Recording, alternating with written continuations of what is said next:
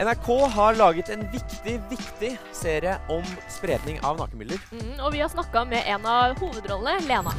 Så er det noen som har delt at noen fugler på festen. Oi, Sofia. Jeg Spiller ei jente, ungdomsjente som er 16 år, som heter Sofia.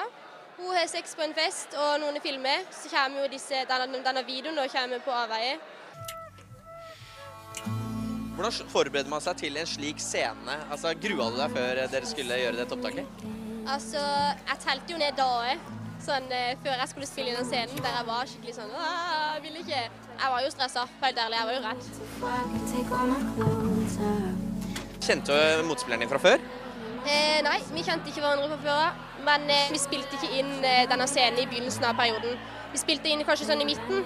Så vi ble jo kjent, og de der eh, små tingene vi har gjort sammen før i serien, de spilte vi inn først. Så at vi hadde varma opp litt. Du bare blåste opp enda mer når du skal drive sånn jævla heksejobb. Ja, så Dere rakk å bli litt kjent. da. Det var kanskje et grep fra produksjonen for at det skulle bli litt lettere å spille inn akkurat i scene? Ja ja, er du gal. Kjempesmart.